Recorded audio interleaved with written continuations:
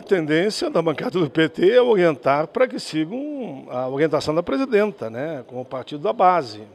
Agora, alguns temas ali que dificilmente cada um não votará pela sua consciência, como o fundo de participação dos estados.